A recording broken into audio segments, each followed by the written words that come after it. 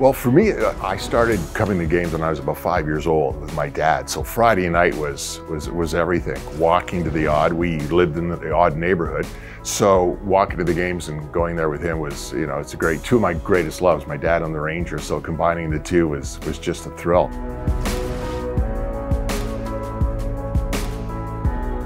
Yeah, I, I, I really think that the Rangers are so much part of this community.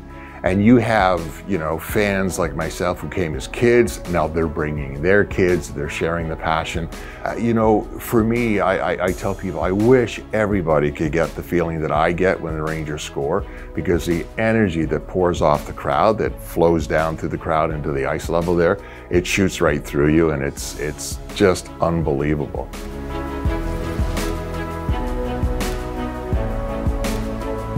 The bottom line is the game is always number one, and uh, you, you can't fool a Rangers fan. I mean, when you, when you get a fans who cheer a penalty kill, a successful penalty kill, you know you've got great fans. They see the whole game.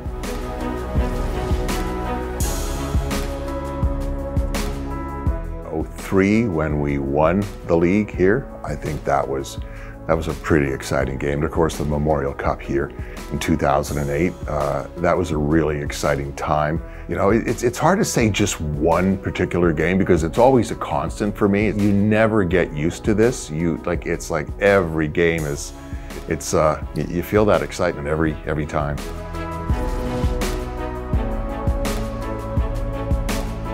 Like you cannot go anywhere in this city without seeing somebody wearing a Rangers hat or see a Rangers license plate or uh, you know a Rangers shirt. It, it, they are everywhere, and I, I, think that the Rangers do a great job of giving back the community. I think the players give their all on the ice.